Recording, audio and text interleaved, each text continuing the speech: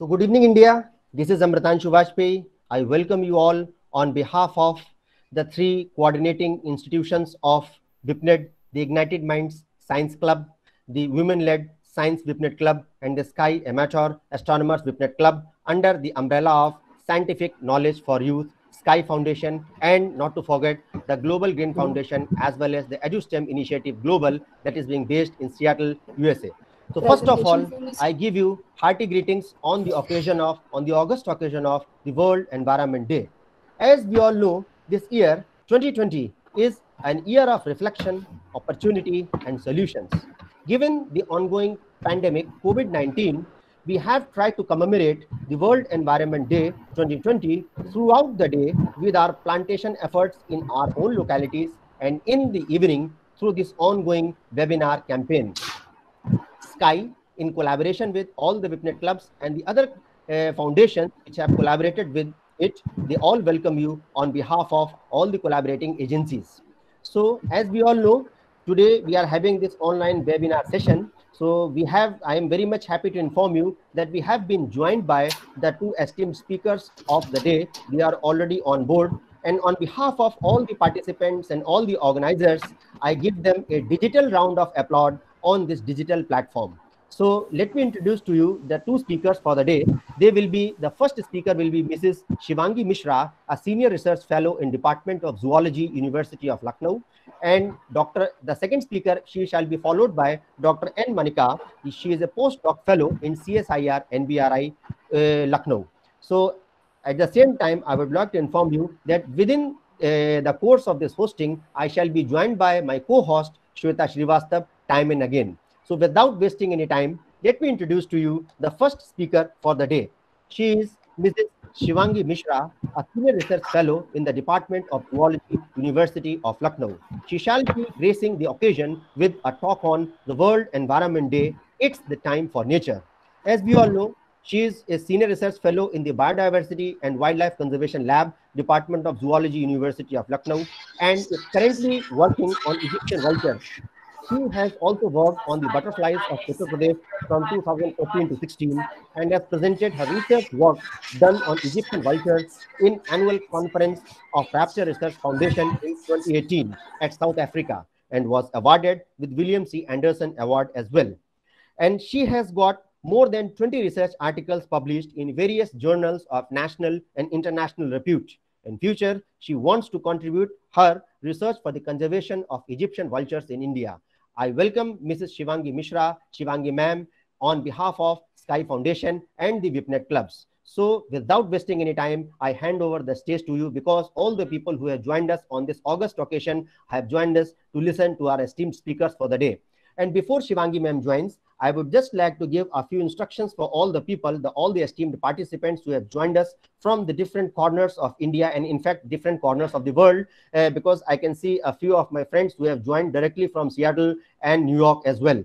So uh, the first and foremost instruction is that is there will be two icons on the name of the esteemed speaker, Mrs. Shivangi Mishra. One would be the screen from which she shall be speaking. And second one will be the pinning screen that is with an arrow pointing upwards. There you can pin up that screen to see the presentation. In the meantime, the second and most important instruction for all the participants of this webinar series is that kindly do not try to present your screen.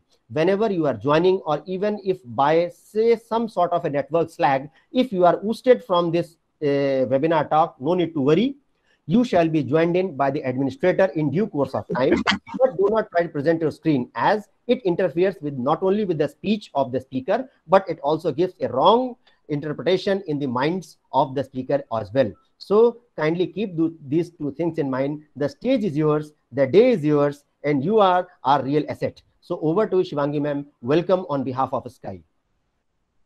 Kindly unmute yourself and yeah, you may begin shivangi ma'am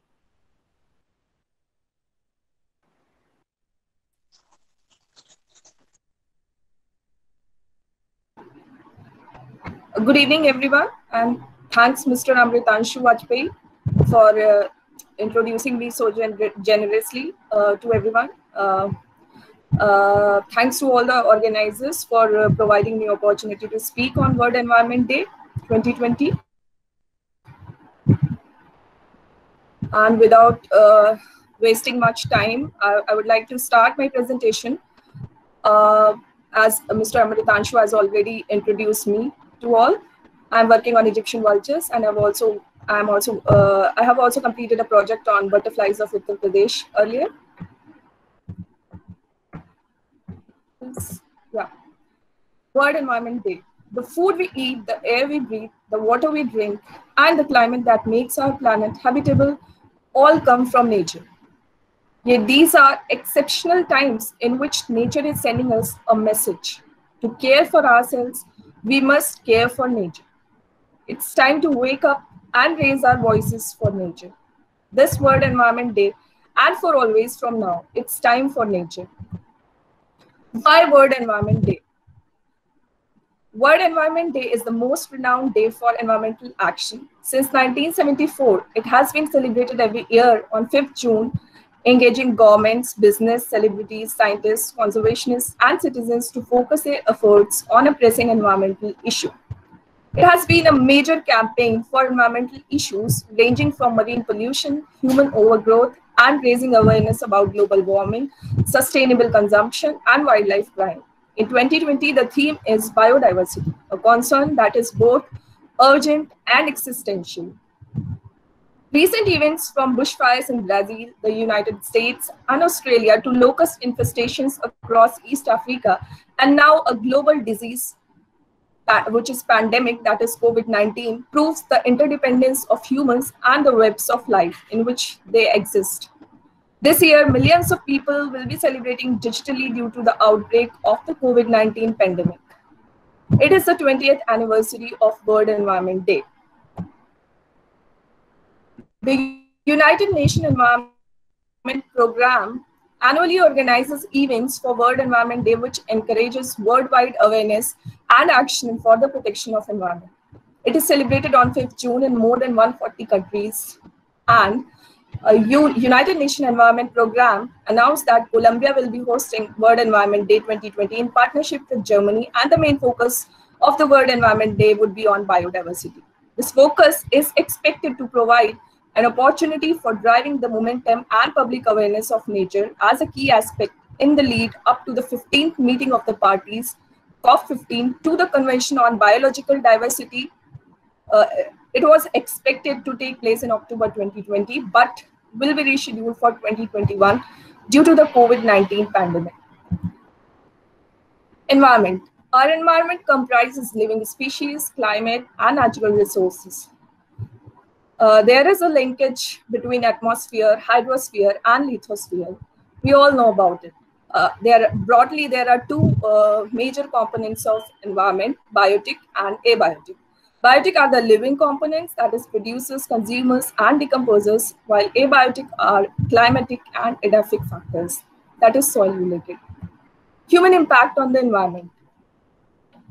We humans have impacted on environment too much that the uh, nature and environment is showing us the that uh, we have to think about them too while thinking about ourselves. So the uh, the major human impact on the in the environment are biodiversity loss water scarcity increased pollution due to emission of greenhouse gases climate change depletion of natural resources ozone depletion and population explosion Biodiversity is the foundation of human life. Biodiversity offers people a wealth of ecosystem services that makes our, our life possible from food and water to social and cultural benefits. Human health is also linked to ecosystem health. The risk of transmission of infectious diseases from wildlife to people, that is, zoonotic diseases, can be experienced as a result of extreme human interference like habitat encroachment and destruction, and unsustainable or illegal consumption for, or trade in wildlife. Estimates suggest that over 60% of infectious organisms affecting humans are of zoonotic origin. An estimated 24% of the global disease and 23% of all the deaths can be attributed to environmental factors. We have always treated natural systems as free gifts. The risk we face lie within ourselves and the system and society we create.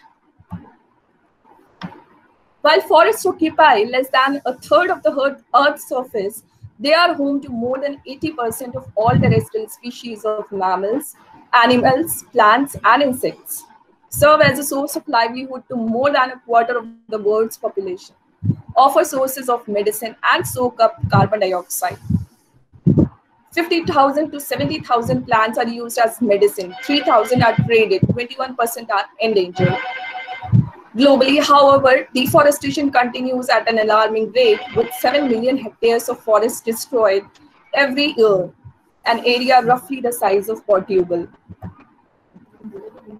Now, if we come to biodiversity of India and the status of India among the bio, uh, mega biodiverse countries of the world, India is one of the 17 mega biodiverse countries of the world. It is at the sixth rank among the centers of diversity and origin of agricultural crops. 10th rank among the plant-rich countries of the world. 11th rank among the endemic species of higher vertebrates. The term biodiversity was coined by Walter G. Rosen in 1985. And uh, we all know that bio means life and diversity means variety. So it is defined as the diversity of all living forms at different levels of complexity. That is genes, species, ecosystems, and even landscapes and seascapes. Biodiversity can be greatly enhanced by human activities. However, it can also be adversely impacted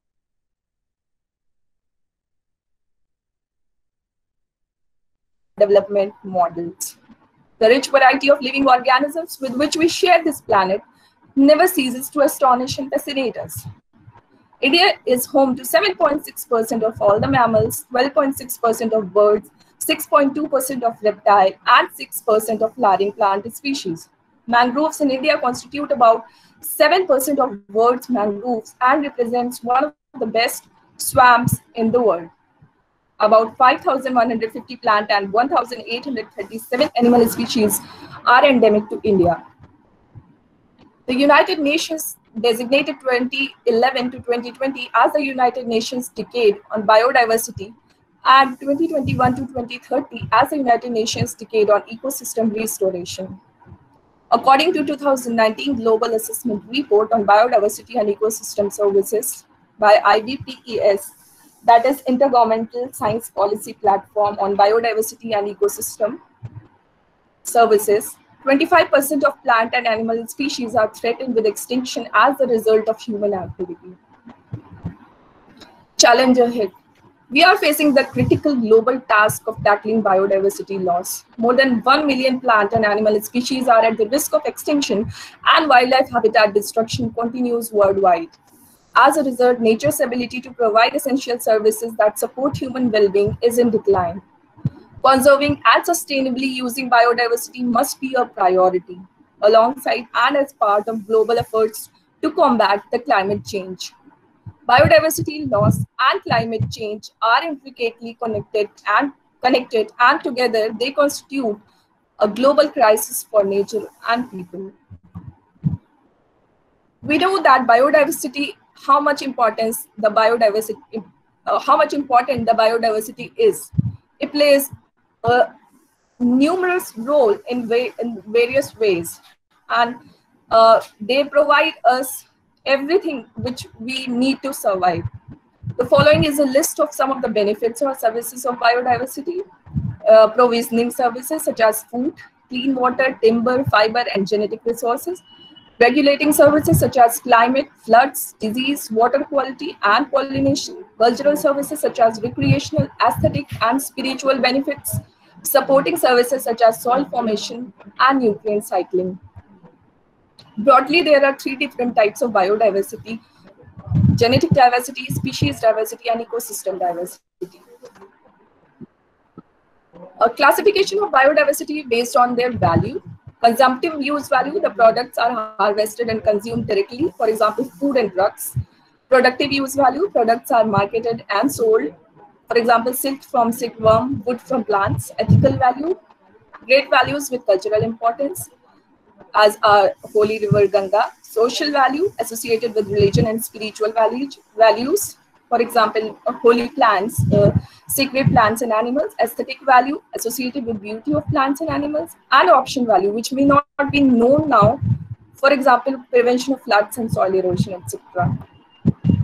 Now, uh, uh, the next uh, thing about which I want to speak today is the, about the agro-biodiversity of India, because it is very important to know about our agrobiodiversity.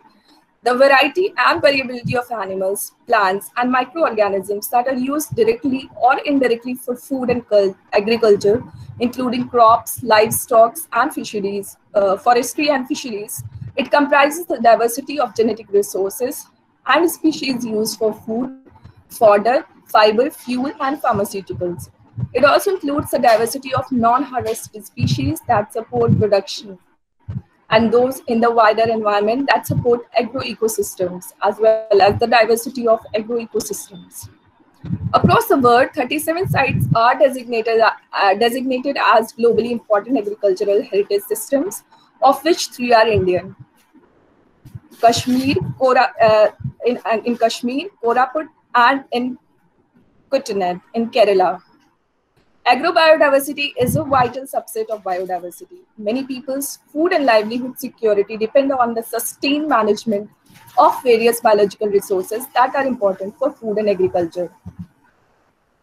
There are numerous roles of agrobiodiversity. For uh, incre they increase the productivity, food security, and economic returns of a country, reduce the pressure of agriculture on fragile areas, forest and endangered species, make farming systems more stable, robust, and sustainable, contribute to sound pest and disease management, conserve soil and increase natural soil fertility and health, contribute to sustainable intensification, diversify products and income opportunities, reduce or spread risk to individuals and nations, helps, many, uh, helps maximize effective use of resources and the environment, they reduce dependency on external inputs, improve human nutrition and provide sources of medicines and vitamins, and conserve ecosystem structure and stability of species diversity. This is the uh, data of endangered species. And we, we can see that maximum number of plants are in this, uh, followed by uh, uh, mammals, and uh, which is followed by fish, then birds, and last the reptiles amphibians, and then the reptile, followed uh, reptiles. The most trafficked mammal of the world. Pangolins are threatened by deforestation of their natural habitats. They are hunted for their meat and scales, and they are the most frequently tracked, uh, trafficked mammal in the world.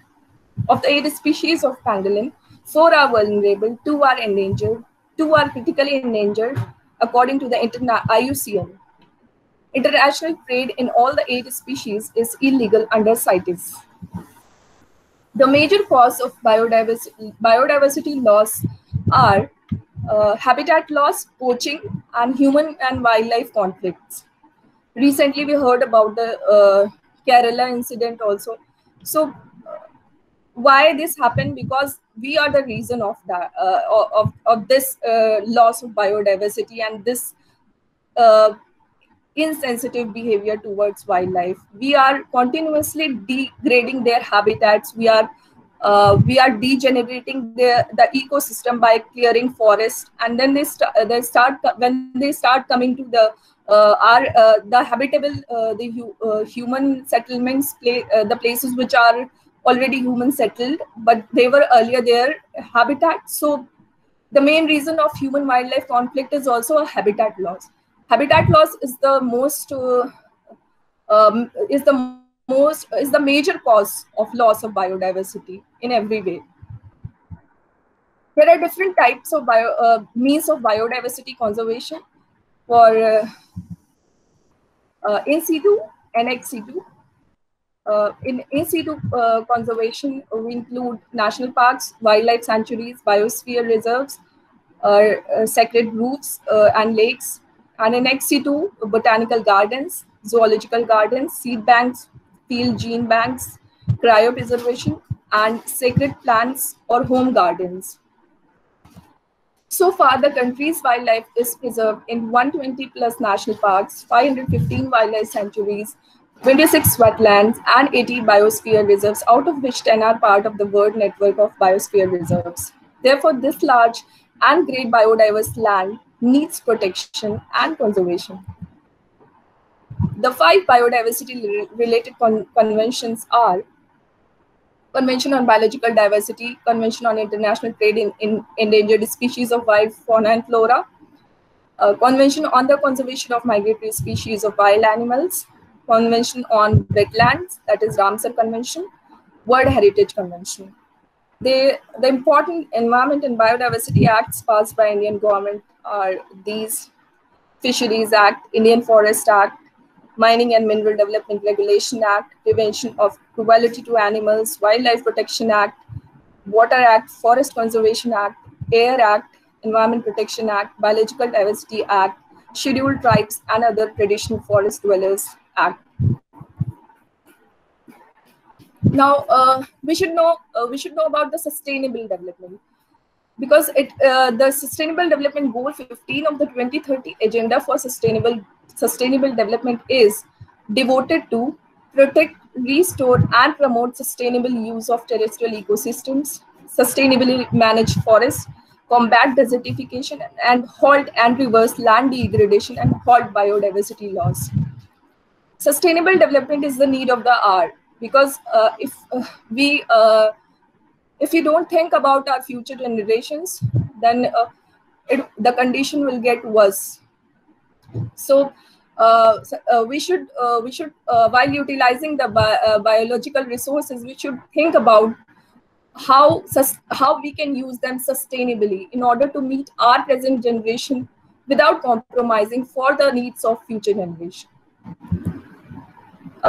Now, some environment facts which should not be ignored. According to studies, the temperature will rise from 2 degrees Celsius to 6 degrees Celsius by 22 2100. 2100. According to World Economic Forum, climate change is seen as the biggest potential threat to the global economy and climate impacts could push more than 100 million people into poverty by 2030.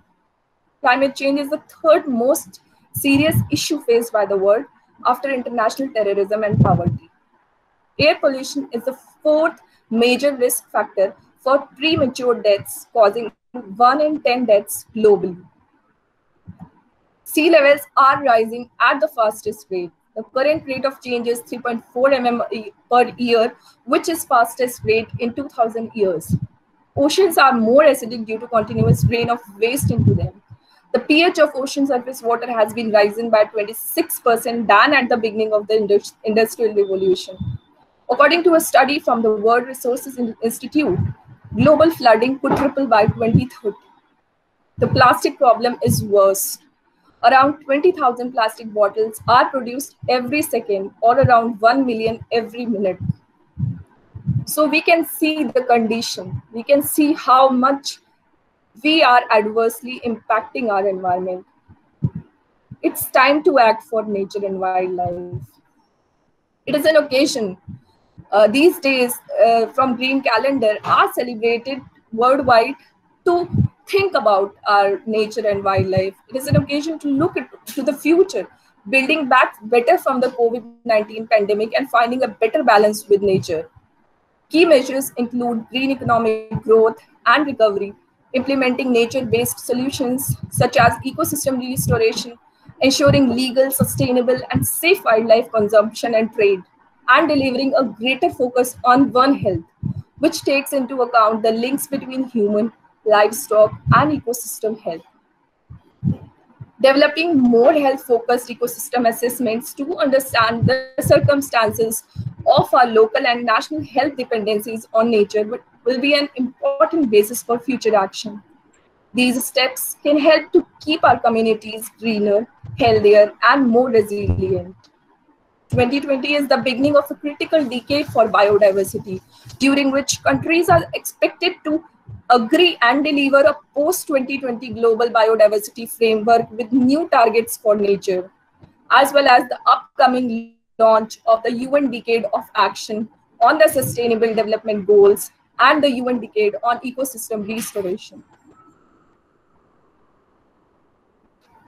Now, after uh, listening to all the acts and everything, and being a, if we consider ourselves as a common people, what can we do to protect and improve our environment from our level?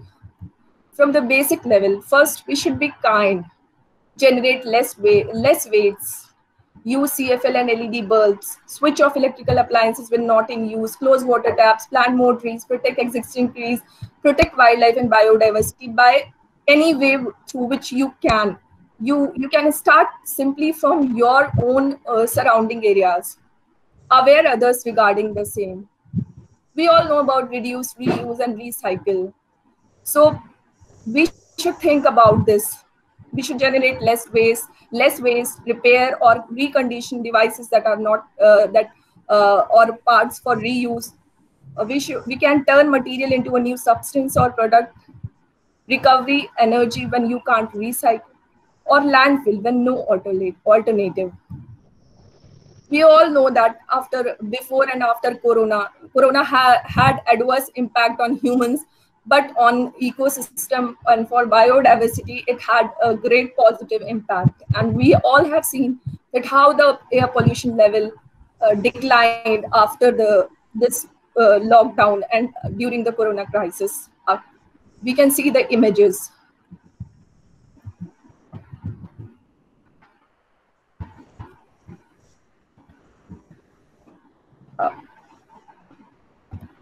so.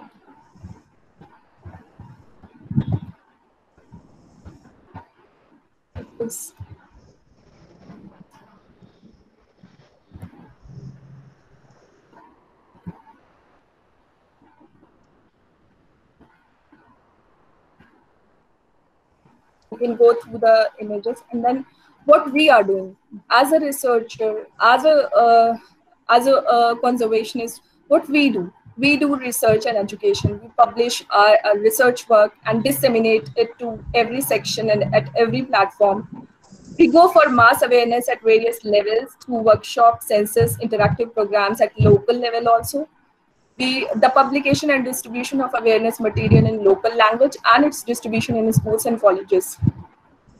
This is a glimpse of outreach activities which we do every year and we celebrate all the days of green calendar and we try our best to aware maximum number of people and to generate a kind of uh, uh, a kind of sincerity among them in them to think about environment and nature we when we go to uh, our survey work for uh, research purpose we interact with different foreign officials and local people. We do awareness among common mass also. Uh, we deliver lectures among forest officials also so that we can have a knowledge exchange sharing of thoughts and knowledge about forest and uh, wildlife. What they know is different and what we know is different. We are researchers. We uh, sometimes uh, uh we sometimes lack in at some aspect which they know. So there should be a sharing between uh, both sharing of knowledge between every section. These are the awareness material which we distribute. And uh, it took millions of years of evolution to accumulate this rich diversity in nature, but we could lose all that wealth in less than two centuries if the present rates of species losses continue. Biodiversity and its conservation are now vital environmental issues of international concern as more and more people around the world begin to realize the critical importance of biodiversity for our survival and well-being on this planet. If we are to become true custodians of nature, we must first learn about what we can do, share that knowledge with our community on World Environment Day and beyond, not only on the days. And once it is safe to do so, act on the things we need to change. We can do a, a small step of us to save the earth is crucial and it is in your hands do just one small thing today. If you have planted at least one uh, sapling today it, it, it, it could it could help our mother earth to heal. Lastly i want to say that be kind and practice compassion because without kindness and compassion to wildlife and biodiversity you cannot do anything. So uh, we we all know word worldwide it is known that what happened to the mother, uh, pregnant elephant in Kerala. So it was all due to inhuman behavior. So if we are doing research and uh, various scientific activities and we are not thinking about nature, then everything is waste. So please think about it, be kind, and practice compassion. Thank you. Thanks a lot, Shivangi ma'am. And uh, with such uh, a very, very, you can say, encouraging lecture uh, on the cause of the World Environment Day, which is one of the biggest days actually for the recognition for encouraging people worldwide to save and protect our environment from different environmental challenges the world is facing today. And so, uh, actually, today we have uh, got a few questions in our chat box, also uh, from the email. So, in the meantime, uh, while our second speaker for the day gets to present her screen and adjust to the Google Meet platform, uh, with your kind permission, uh, Shivangi ma'am, can we have a small, say about five minutes of uh, interactive session with you because we have got a few questions from the esteemed audiences. Yeah, sure. So uh, I would also request Shweta, if you are here, to kindly just Yes. in the chat box and browse for the questions. And in the meantime, what I will do is I shall take a couple of questions that we have received from the email. The first question that actually I have rece- uh, received is from uh, Mr. Vasudev. He is asking, how do you look Environment Day in context of India when monsoon is still 15 days away from us and that too in normal circumstances that it is not running late and isn't a date like 5th of july to initiate plantation drives more suitable in context of india over to you ma'am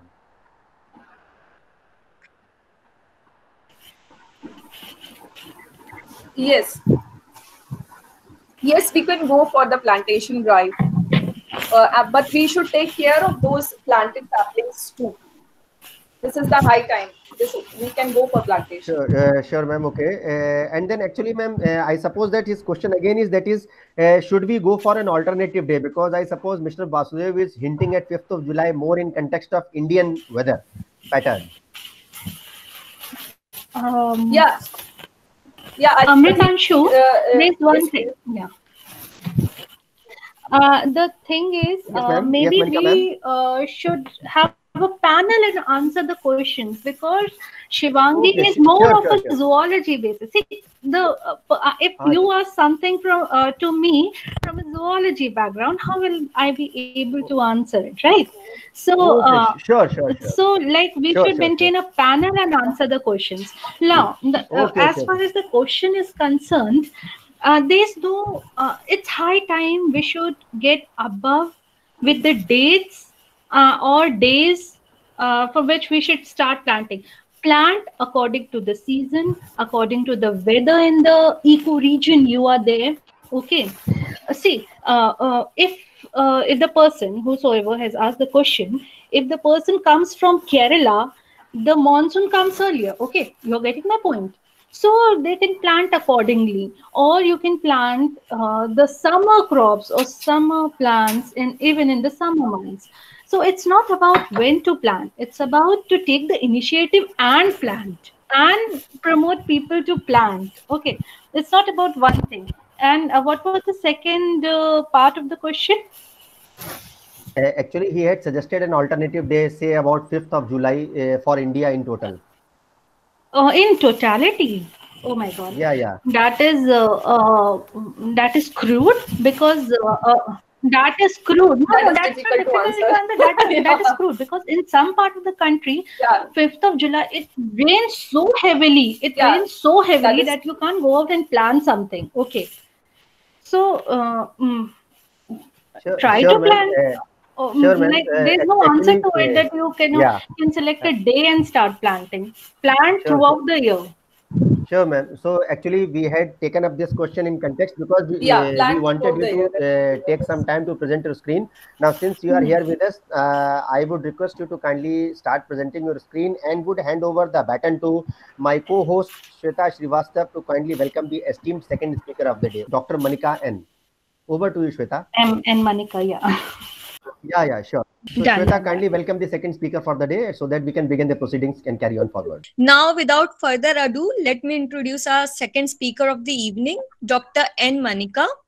Dr. N. Manika has pursued her PhD in sustainable harvesting of bark yielding medici- medicinal species from CSIR, Central Institute of Medicinal and Aromatic Plants, and postdoctorate in population status and sustainable utilization of understory species in Terai ecosystem. She has more than eight years of experience and her research interest in the field of biological resource use, their conservation, sustainable utilization, development of ecosystem management strategies, and improving livelihood of underprivileged, underprivileged communities through, through natural resources. Dr. Manika has been awarded with prestigious fellowships from CSIR and Science and Engineering Research Board, Government of India. She has been awarded at many forums, including Young Scientist Award 2016 in 18th Indian Agricultural Scientists and Farmers Congress and K.S. Bilgrami Gold Medal from Indian Botanical Society. She is an author of more than 15 research papers in international journals and more than 35 reports at national and international forums. Now, we will turn the time over to you, Dr. Manika. Uh, thank you. Thank you, Shweta. Uh, and thank you, Amritanshu, for the hearty introduction. Now, I'll start uh, my talk on diversity. Just a minute. Shall I? Uh, now, I want to talk about the diversity of neglected and underutilized plant species for nutritional security and health improvement. Now let's start. Let's start with a story. Okay, I'm going to begin with a, uh, with a story of which uh, I think will be leading us forward in our development to understand the issue. Now, what happens in nine, uh, 1492? Christopher Columbus comes across the ocean and a significant ecological event takes place. Something that was unprecedented. Okay, various organisms that had previously been isolated between the hemispheres across the hemispheres are now moving from east to west hemisphere or vice versa be it disease i guess the malaria rats but also the beginning of crops moving between the continents so the spanish traveling through america and they find a food item that they never encountered before. Okay a new food item which was our um, you know very own potato. They didn't even imagine that the crop would be such a boon for their livelihood. At that time i'm talking about those times when europe was extremely poor and in a very poor place some scholars say that at that time the average living standard was much lower than some of the developing countries in today's time. So uh, you can imagine how poor they were. There was a lot of starvation.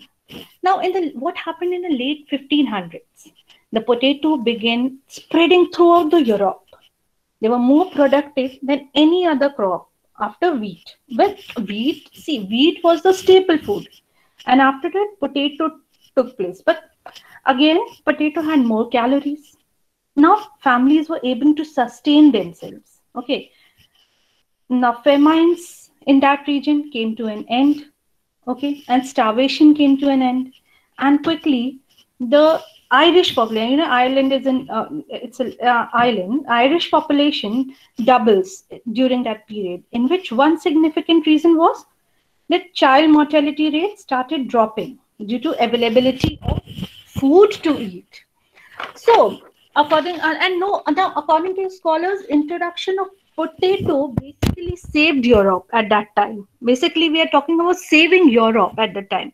So the first lesson here is that introduction of a new crop can make dramatic impact on food security of a society or any region. See, by simple potatoes, there was significant impact on food security. Similar effect uh, with uh, we can there's uh, how many of you know another example like similar effect with maize was seen in southern europe i guess. And um, in china we can see the similar effect with sweet potato. Okay now what happened? Now a tragedy took place. Tragedy strikes in 1844 which we call as potato famine or irish potato famine. So irish people what they do who had become heavily dependent on potatoes, they found their potatoes to be brown, mushy. So the potato crops are completely destroyed. And what who was the culprit? And in fact, I should say, what was the culprit? It was Phytophthora infestans which is uh, which cause uh, late blight of potato. Everyone in the foreign must be knowing or the people from the non biological background must not be knowing. It is still, still it's a pathogen and it is still a prominent pathogen okay? So these crop loses continue about 5 years and ultimately result in one of the worst famines in history. So the question is my question is why did this happen? Okay just uh, think about it. Why did this happen? The reason is basically dependency on single plant. So the second lesson here in crop diversity is crucial tactics for ensuring food security. Now my question oh, again a question is there right?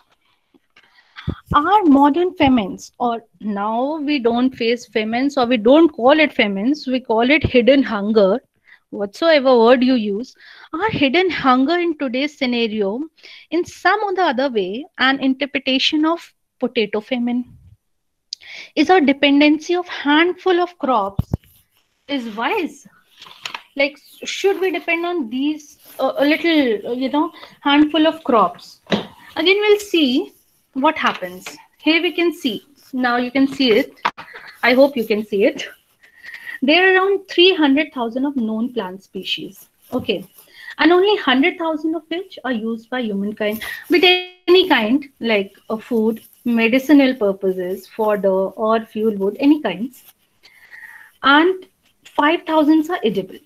The interesting point here is that only 120 are important on international scale and provides 90% of the calorie and only 4% provides 60% of the uh, calories, which are again potatoes, then rice with maize. Okay. Which is kind of scary. Don't you feel it's scary that we depend only on few crops? And shrinking of this food basket basically is causing nutritional insecurities in the world. You guys don't wait. You guys are like we guys are sitting in the laptop and uh, seeing in the laptop. We have all the amenities with us. If you have a laptop with you, like you are getting food to it. But think of the people who are not getting food. Okay, they are nutrition. Uh, um, they don't have that full nutritional value in their food and in fact if you are uh, privileged and you are uh, working in a laptop or you have all the amenities even you are in some case nutrition de deficient. And that is why it's important to promote nutrition sensitive plans okay so it's order in order to do so we have to identify the nutrition sensitive plants. Okay let's move forward. Now according to the uh, age DG, Sustainable Development Goals, uh, it's one of the criteria to promote the plants which are full of nutrition, which are full, which are wild edibles, which are underutilized, so that the uh, you know the pressure should not be on few handful of crops. So let's why they are important. Now everybody think why they are important. Okay, see they are nutritionally rich okay. Let's let's uh, skip this slide and uh, go uh, further and see what happens here. Okay in uh, different points. Nutrition. Why they important? The nutrition value is often i'm sorry often, often is oh, mistakenly often superior okay and reliable. Reliable as in they don't change it according to the uh, you know they have a little change according to the ecoregions more micronutrient content is there they have high nutraceutical, that is low glycemic index, the antioxidant rich, and now a new term comes, gluten-free diet. Okay, they are gluten-free. Okay, now they are more climate resilient. Okay, they're resilient to biotic and abiotic. So they are there. They were there. They are there. And if uh, you guys are, we will promote them. They will be there. Okay. Uh, they uh, require lower irrigation requirement they've grown marginal soil then they're more less needy basically less needy crops what we can say now the sustainability now they are more stress tolerant. They are grown locally. The important thing is this: more suitable for intercropping system. Okay, and uh, it, they encourages biodiversity conservation. Now, now, I was talking about sustainable development goal. They attain sustainable development goal uh, in eight number eight. I have written the number which is uh, eight uh, represents. They promote such, such suitable consumption of um, food. Okay. Number twelve it represents I guess improve nutrition and promote balanced diet. 13 is enhance resilience towards climate change and 15 is address and adapt to climate change. So all these plans they you know they promote sustainability. As shivangi also mentioned sustainability is one point we have to adhere adhere ekdam now let's move on. now what about uh, uh, the, these the previous talk was for environment for uh, nutrition. What what about income they they give a unique opportunity for forest dwellers or say marginal farm, farmers to generate income. Because and the versatility in use because they use it for themselves uh, medicinal value meeting livelihood for uh, you know uh, cattle.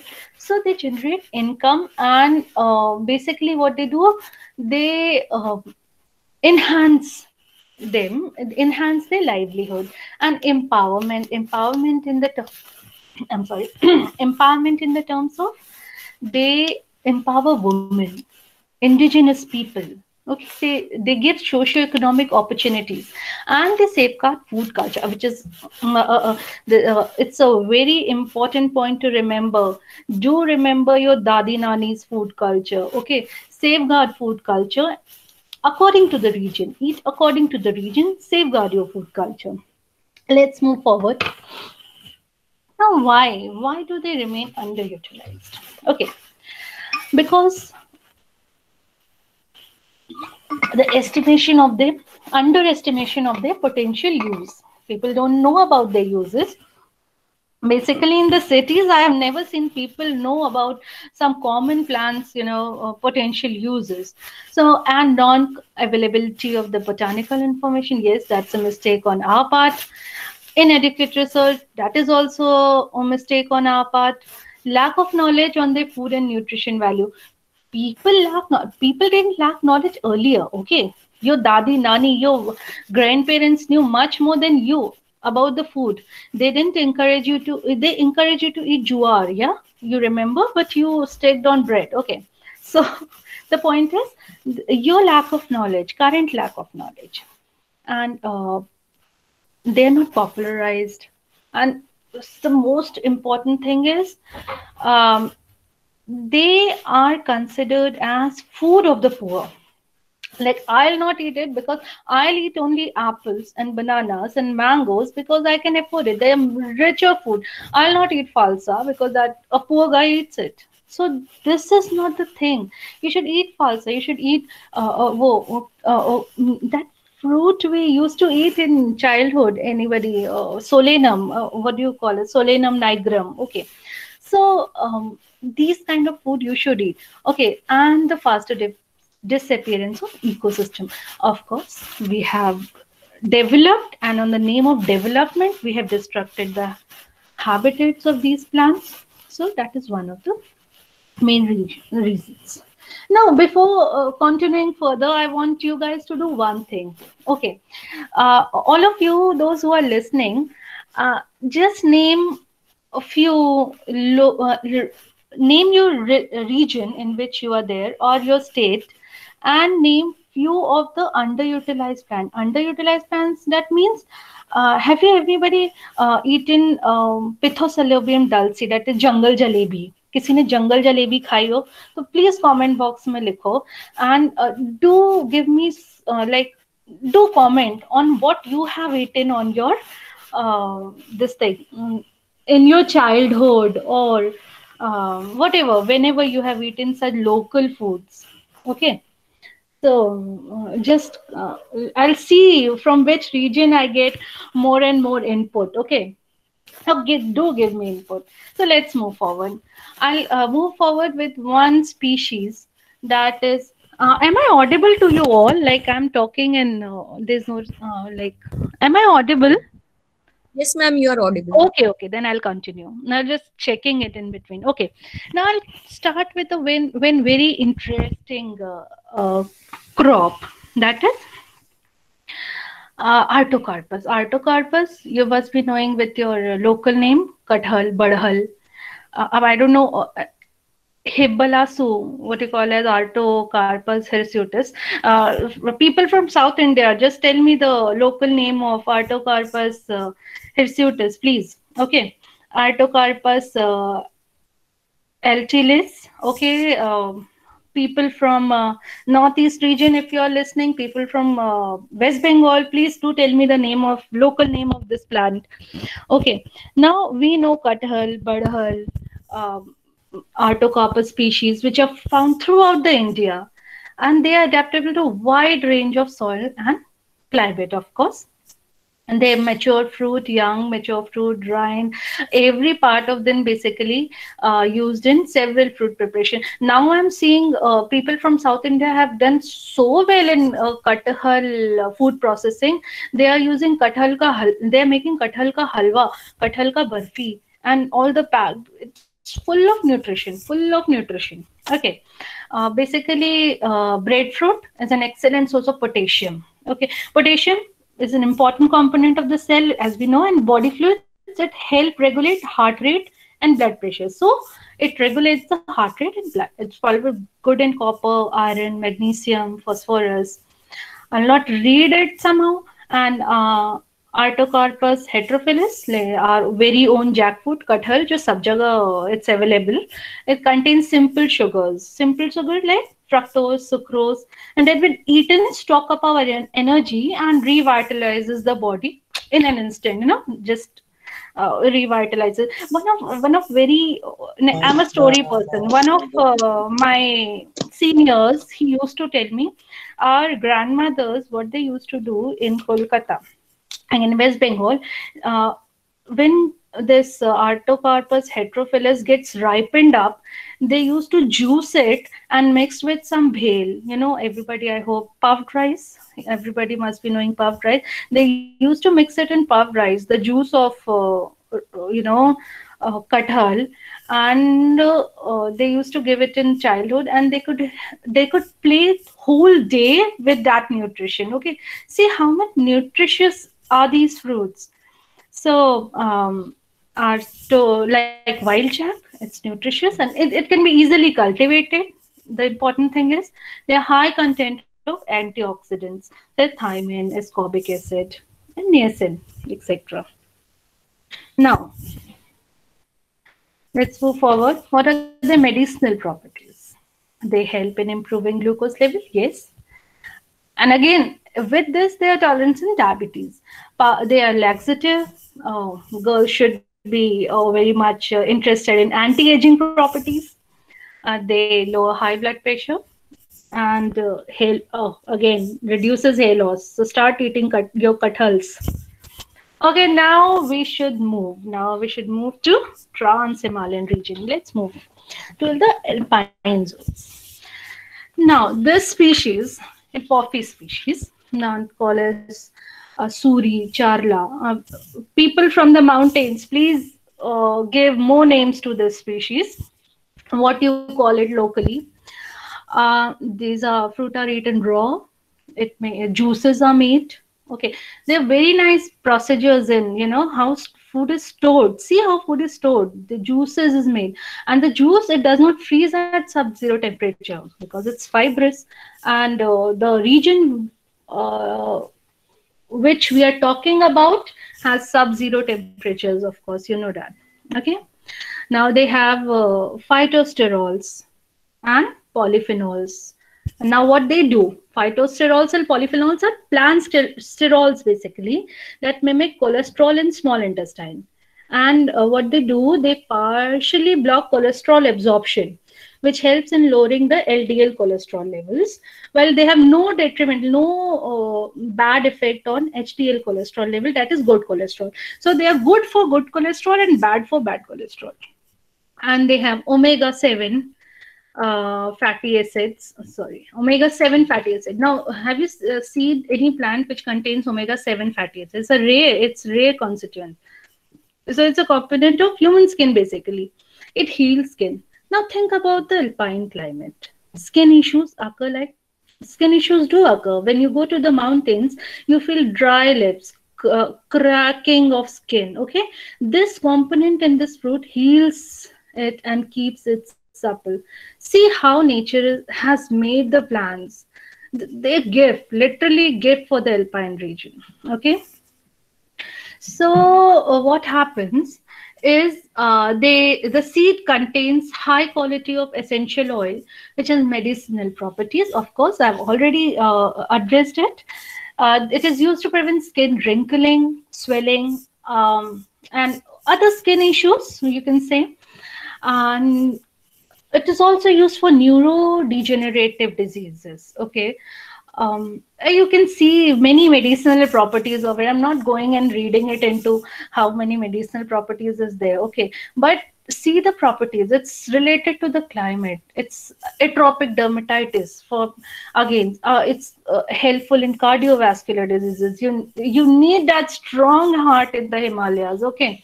And of course alzheimer's disease. That is a new venture now where shall we go let's go to the western himalayas uh, let's travel through india let's go to western himalayas okay now, who has eaten kafal? That's Myrica esculenta. It's one of my favorite foods. It gives so much, it generates so much of income to the local population. I love it because it gives income to the local population, basically.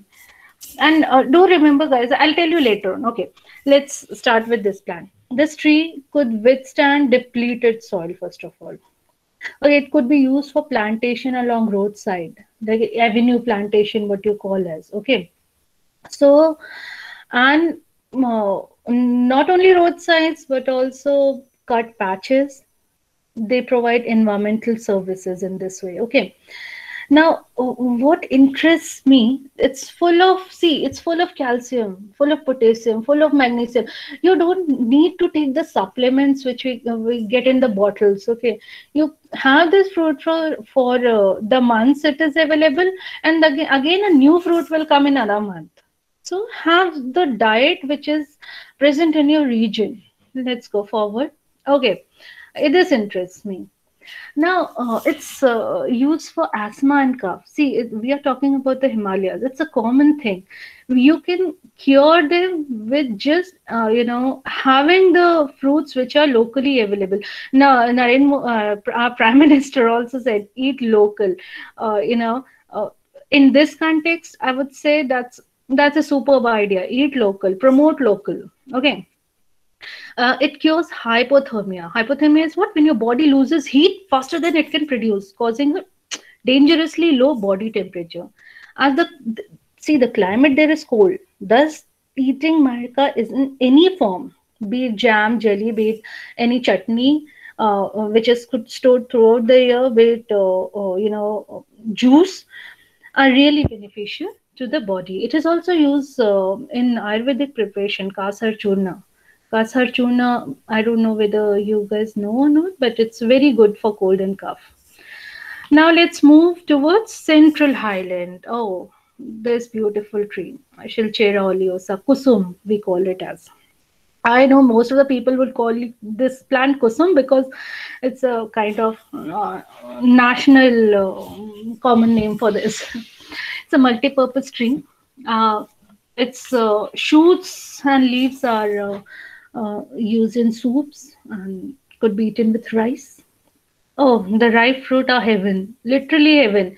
When I was uh, walking through forest, some of the children uh, they told me to eat this fruit. I was very hesitant at first. I'll not eat any any um, fruit like such. I, I had not eaten it. See, I didn't get it in um, city, but they they demonstrated me how to eat it, and when I ate it, ah, what the flavor! Like it, it was heaven, literally heaven. And uh, the fruits are pickled also. See, 100 grams of leaf contain 58 calories and 1.6 gram of protein. See how much protein you're getting with all these uh, underutilized trees. Okay. And uh, it's used for medicinal purpose also. It's used for itching, acne, skin diseases, um, skin inflammation. Basically, it's used for skin inflammation and asthmatic conditions. It balances because it balances the kapha uh, in your body.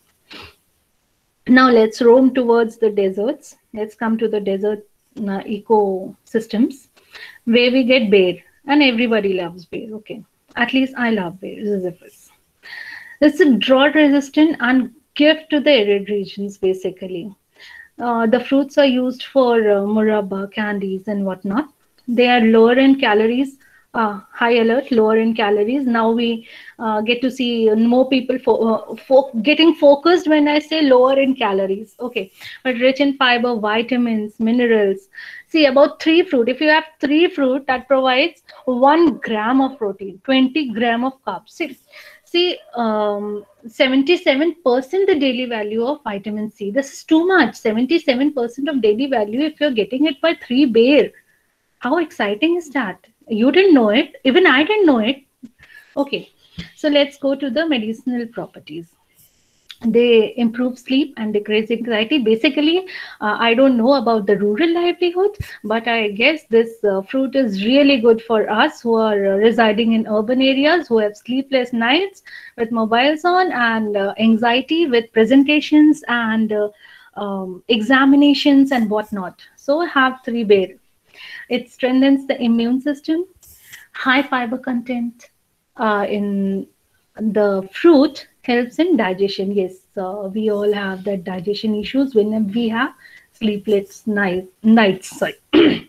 so um, the fruits are cooling. See, again, the thing is, uh, we know the deserts are hot. This fruit is a bone as it acts as a coolant to the body. So in the see in Myrica's uh, esculenta, we had seen it cured hypothermia, like it cured the heat loss. And now this fruit is coolant which is present in desert how good the nature how nature has given us such a good sketch. Just we have to you know understand it and utilize in that way. Now let's uh, travel through coromandel. That is so let's go to western ghats. Uh, this is Canthium coromandelicum. It's known as kirma. Uh, people from the south, please do provide me a name with this uh, for this uh, you know plant. What do you call this? Uh, the fruits are eaten fresh and dried, raw cooked, salad, vegetable. Leaves are used as salad, vegetable, anything. You know, eat the fruit, eat the leaf, uh, and uh, remaining, you know, feed your cattle. Everything is there. Fruit contains 8.27 crude protein. See how much nutritious this plant is.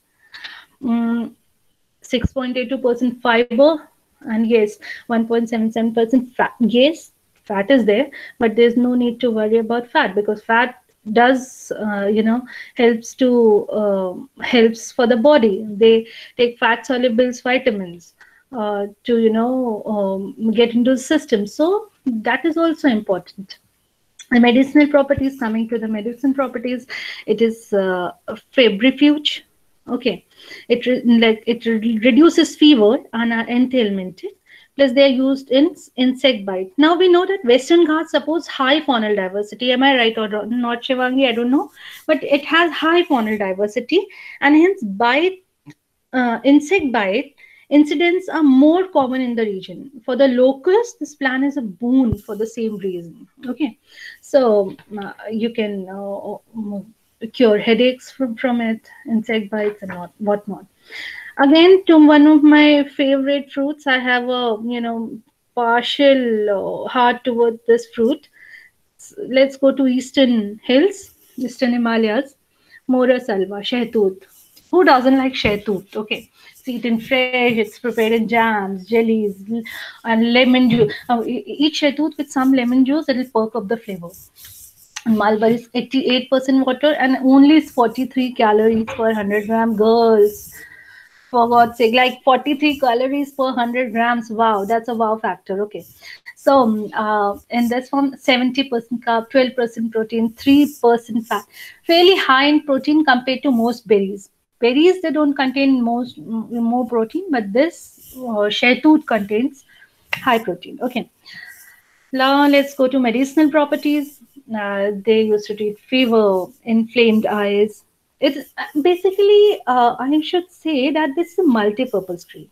It's used as fodder. I, I don't know. It's not written here, but I'm telling you. Uh, dye. It's used to make dye for manufacturing uh, and for manufacturing hockey sticks. Players do tell me right around tennis and oh, who's uh, switched on their mic? I guess. Please switch off your mic tennis and badminton rackets are made from this wood. Now they have anthocyanins extracted, uh, like fruits contain anthocyanins. Uh, they are attractive natural water soluble colors. Uh, you can use as a food coloring agent. Okay, fights fatigue, headache, and uh, if you're getting very irritable, uh, then you have this fruit and uh, you'll be good to go. Okay, now let's come to uh, this basically uh, neurasthenia athenia is basically um, irritability. Now my case study, let's come to my work. Uh, I worked on Terai ecosystem. I work in the Terai regions. So um, uh, this is basically, let's come to the last section, Indo-Gangetic Plains, last but not the least, very important region. Terai ecosystem is a hub for floral and faunal biodiversity. So it's my report. You can see number of plant species are used by Tharu tribes, Nymphaea, Nelumbo, Carissa, Karonda, uh, you people call as Karonda, Dillenia. I don't know what you people call as uh, this uh, agaricus. It's a time of mushroom, bhupod, uh, uh, people call it bhupod, okay. Ipomoea aquatica, Physalis minima. We used to eat these, like uh, not all of them, but yeah, Physalis minima. We used to eat it when we were younger. We when we used to get these plants, you know. Averrhoa, who guys, uh, guys, tell me who has eaten Averrhoa carambola? The people uh, before, like in front of my schools, uh, people used to sell this we had so much of Averrhoa. And now I crave for Averrhoa and it's not available in the market. Buchanania lanzan. Uh, uh, now this is uh, these are uh, regionally these are um, endangered over in, there in the region. So I've included these uh, plants because locally threatened plants. These are locally threatened, in which I work. Uh, chlorophytum, muesli, cordia, um, costus. These are the plants uh, which are full of nutrition packed plants basically and you guys um we guys have stopped eating them or we don't know about them we just discard them we just keep few apples bananas and yeah pomegranate uh, on the plate and we are satisfied but we don't go out there ask for some jungle jalebi plant some jungle jalebi do not cut the jungle jalebi out of your backyard and eat that no. Now we come to threats and conservation. Now, this not my compiled file. Uh, now, as pointed out above, these species have great potential. You know, investigating these species uh, will uncover a new way in which these could be used more efficiently uh, they could provide a new or additional food source, of course. They can contribute to food security, basically, which I was talking about. And they can enhance environmental services. By what? By processing toxic substances. They prevent soil erosion, of course. They restore degraded lands. But however, as we all know, we humans are, uh, we, we do excel in destructing. Uh, we are, we are, uh, you know, uh, very fond of destruction, uh, like the case Shivangi told, the elephant case. It saddens me up. It saddens me up. The destruction of natural habitats, either for commercial growing or cultivation. It's majorly that is the ecological threats seen by these species. So, a holistic approach should be taken for these uh, underutilized species to be conserved. And we should plan it basically, uh, both in situ techniques and ex situ techniques that uh, complements the conservation. Basically, in situ technique uh, are um, the techniques which will conserve the plant in its own habitat and ex situ as in uh, you'll give an extra effort to it okay? Many of the species are well adapted in wastelands moreover non-agricultural lands. Thus adding thus they are local you know uh, adding the local village or state development needs the cost effective manner. See cost is uh, an important point you know here everywhere cost is an important point so cost effective manner. So uh, acha, these species a handful of uh, collection of this species is currently in and around in and around gene banks of the world. Thus it is our responsibility to collectively well established national programs for these uh, uh, to prepare gene banks for these species and uh, uh, the responsibility of international organizations or national organizations, or if you have an NGO, it's your responsibility to uh, create a gene bank. Uh, it's not a well-designed gene bank. See, uh, institutes have well-designed gene bank, but you guys can, you know, uh, common people can do can, com- what common people can do. Common people can have a lot of potential. They can develop their own gene bank along with the roadsides, along with your agricultural marginal lands. Anything you can do. The capacity building is the more prominent uh, word, I should say. Underutilized. Um, so now hmm, uh, I can say that underutilized uh, species have uh, great potential, as you can see, and investigating these species is crucial. Okay, they can revitalize rural landscape and and can deliver inclusive growth. It's not that you want to grow and you you want your fellow uh, villagers you want your fellow rural landholders to not to grow. They also want to grow. And you also want them to grow. Okay. So with ecological implications too. Not only in terms of um, you know uh, mud cities. No don't make them mud cities uh, let them grow with ecology, with ecosystems. And now it's your time to go and find your locally available uh, crop, locally available plant, and do mail me if if you have. I, will give you uh, my mail ID. Can you guys give uh, distribute my mail ID in the comment box, please, guys, organizers? Can you give them my mail id and do let me know if you uh, uh, get out and found those plants which uh, was eaten like previously and now you don't know how to use them. Please do let me know. Okay? With this note uh, i guess i should um, stop my presentation. Thanks a lot ma'am for such a fabulous fantastic and in fact a fantabulous uh, you can say talk from your part and oh Sky, so Sky is very the Sky Foundation and all the collaborating clubs are really, really, really. Oh my God, I'm getting replies. I'm getting no, replies. Yeah, oh my as, God, that's very good. Yeah, as Do a matter of fact, yeah, as a, as a matter of fact, when I am checking my chat box, I have seen there are about 80 posts that are still pending to be browsed. Oh so, my God! Wow. Uh, uh, what I shall do is. Um, Thank you, Shivam. Thank you, Sumit. I am going to distribute the duties between myself and Shweta for conducting a 10 minutes of an interactive session if both the speakers are there. Sure, sure. I'm on there. So, Shivangi ma'am, are you also there? And I suppose you are there. Yeah. And uh, Manika uh, ma'am is already there. Yeah. So, uh, uh, so uh, the distribution of question and answer session will be like this. The chat box will be provided by Shweta and the email queries, they will be taken over by me. So if you both guys permit me, both the speakers kindly permit me, can I take the first question that I have received over the email? Sorry, over, over, over the Facebook. Yes, I have also gone through the chat box and the questions in the chat box. Sure, sure, sure. So uh, uh, those chat box questions, they will be taken up by Shweta. And the first question actually, it is towards both the speakers Uh, That actually I have been given by again uh, Mr. Okay, guys. Uh, now one uh, one input from my side, if you permit me Yes, to do so. Uh, sure. I include you guys to be in uh, the answer round because it's it's a you know I don't feel it to be one to one.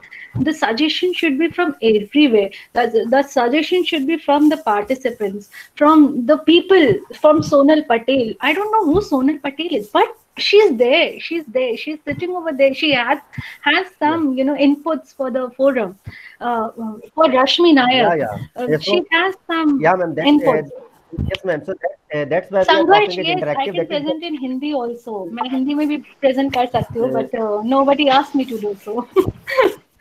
So what we will be doing is uh, it is an interactive session. thank you amigo. So let me take the first question towards both of you. this is a question mm -hmm. by mm-hmm. mr shri krishna uh, uh, am I audible? Uh, excuse me, I, I, just want to interrupt you. Uh, yeah, sure, sure, sure. J- I, I, right? Yeah, no, actually, I am Swapnil, and I just want to tell you a story that I just uh, uh, like taken it a few days back. Like when you are talking about Jungle Jalebi, uh, there was a small story. Like I faced it a few days back, and um, it has been an integral part of my childhood and it's necessary part of our afternoon escapades during our summer vacations. Like uh, it's a small write-up that I, I wrote on my Facebook timeline and it just remind you reminded me where when you told us about jungle jalebi so we used to play with our friends in this scorching heat collectively chilbils and jungle jalebi from those massive trees in kesar bagh adjoining the historical salimpur house and sharing the bounty with friends those trees no longer exist now due to many new constructions replacing those trees which are abodes of birds squirrels and lizards well it was after many decades that I noticed this young uh, young girl selling jungle jalebis at Thakurganj Bazaar at 40 rupees a kilo. Out of my curiosity, while I purchasing a kilo of the fruit, I asked the users of jungle jalebi, to which she promptly replied that it was of stomach ailments, cancer, and corona whatever it may or it may not cure. I purchased them for the sake of my nostalgic childhood memories and also for showing them to my nephews who, like any other child of the new age, are absolutely naive about these gifts of even bountiful nature. Thanks a lot, ma'am. I just thought to share this story with you. Thank you, ma'am. Thanks a lot, Swapnil, for taking. Uh, uh, thanks a lot, Swapnil, for taking us a trip down the memory lane. And we all are feeling nostalgic. Not even you, but we all, on in total, are feeling nostalgic. So, as a matter of fact, let me take up the first question to both the esteemed speakers of the day. It is actually a question from Shri Krishna, and he has asked from Udupi. He has asked to both the speakers, dear esteemed speakers, has exclusive dedication of the decades that is uh, and uh, it means that is he is referring to decade of 2020 2011 to 2020 being declared uh, for the protection and all uh, all the things by the authorities of united nations has given something or has contributed something extra to the man animal conflict. Has it helped in it or has it helped to uh, lessen the conflicts also? Over to you ma'am I'm able to hear you, uh, Amritanshu. Uh, shall I uh, speak or uh, I should? sure give- sure sure no no Okay. ma'am you, you you should you, you may you may proceed Okay. So first of all, who asked this question? May I know the name? this is mr shri krishna from udupi Mrs. Shri Krishna from Udupi. Ah, Udupi is a very beautiful district. You guys have preserved your ecosystem well, yeah. Congratulations on that. But do you feel that it's being degraded in these years? Sri Krishna, do you No, but- really feel we have done? No, it's fine. The- He need not to speak, but I'm just asking. He should ask himself. Do you feel you guys have done enough? Or you guys have not destru- uh, destructed your ecosystems uh, at all? No, we are not doing it well. Mm-hmm. I don't agree with you. We are not doing it well. We have to be. We have to be. Again, I say we have to be very, uh, you know, focused. We have to be very precise on doing what we have to do. But yes, it's there in our minds.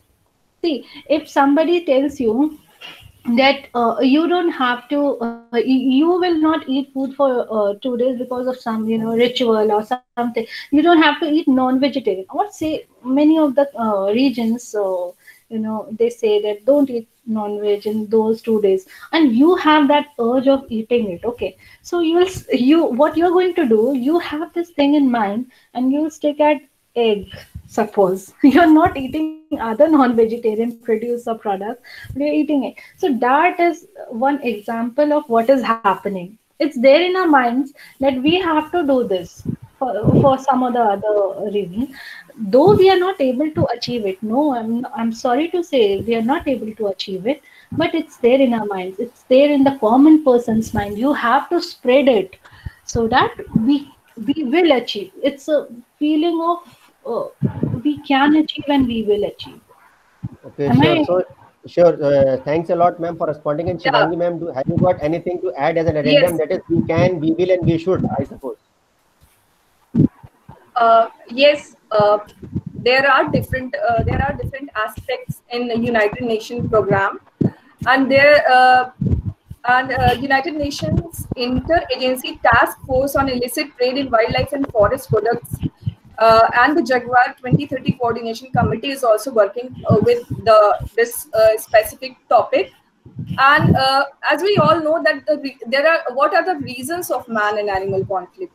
We know that uh, the reason behind is uh, the reason behind man and animal conflict are many and in which it, the illicit trade in wildlife and forest is one of them so uh, so if, if there are different aspects there are different policies in the uh, program uh, so yeah they Uh, are they are focusing on this aspect also yes Okay, I, I'm I'm interrupting. I'm sorry, but did he ask questions specifically about um, uh, yeah animal he asked country? about Okay, okay, okay, yes. Yeah. okay, okay. Then you are the first person to answer it. and he asked that is are Mhm. there any provisions regarding them so so i would i would like to say i would like to answer that yes there are provisions but it is very difficult to achieve uh, all uh, every uh, target of us so we should uh, do from our level also what we can do to add in that and what researchers and conservationists can uh,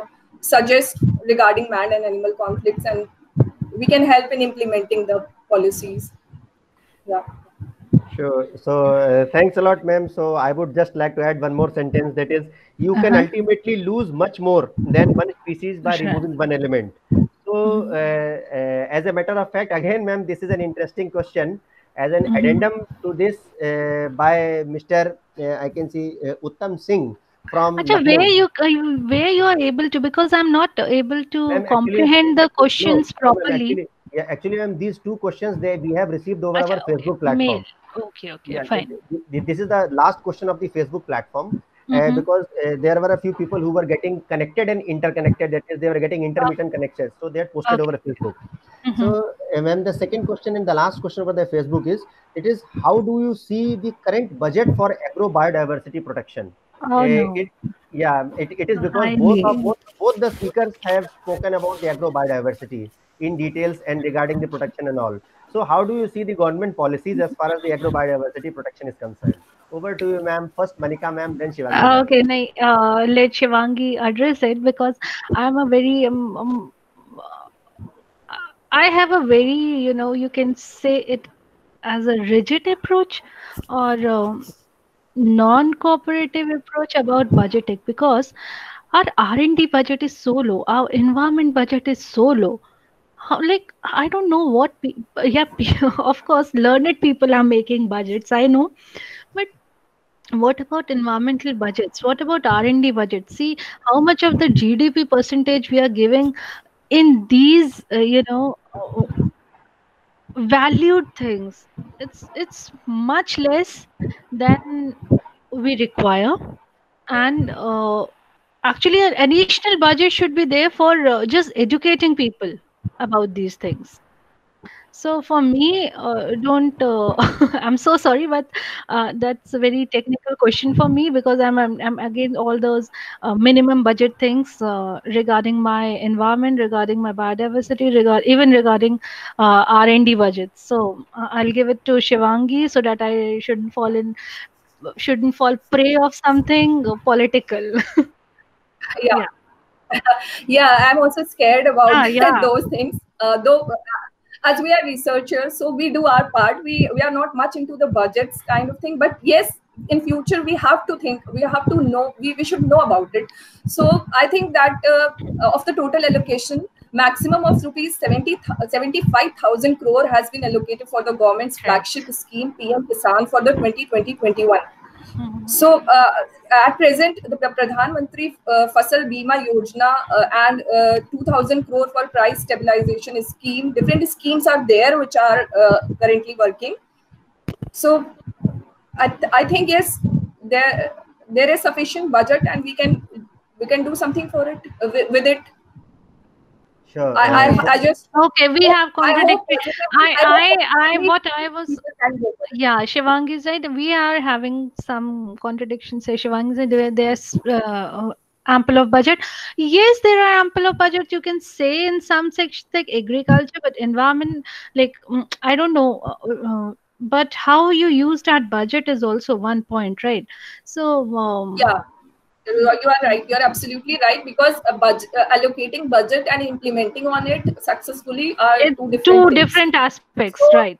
And so anyone anyone from the participant um, uh, um, what do you call amritanshu just yes, uh, uh, tell me one thing. Uh, how long uh, we have to stretch it? Like we have to conclude actually, it right now actually it, it 850 is the last limit. Uh, it is because we have to make a five minute last presentation for today's penumbral lunar eclipse also before. Okay, okay. Okay, okay, okay, that, okay. that is five minutes exclusive. Five because minutes. Uh, we can keep a separate, you know, section for uh, uh, which includes all the participants also to answer them. Yeah. Some some of them must be knowing very well. Like I can see Anil. Anil is there. Amigo tutorials. He knows so much about the subject, and he's I know Rashmi is there. Uh, you guys are there.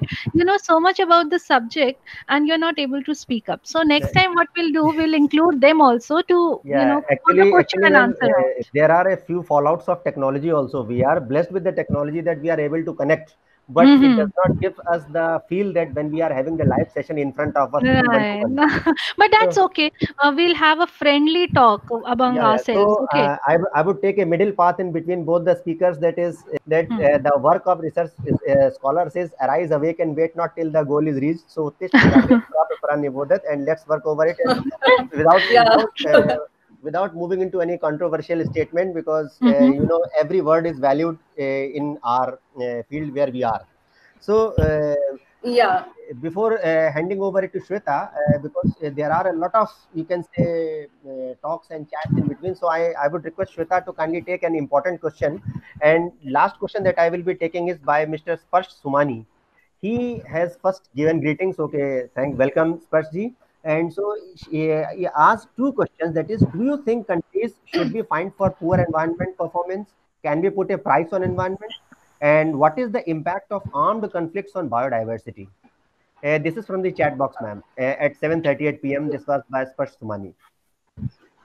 7:38 p.m. Okay, uh, Shivangi should answer it, I guess.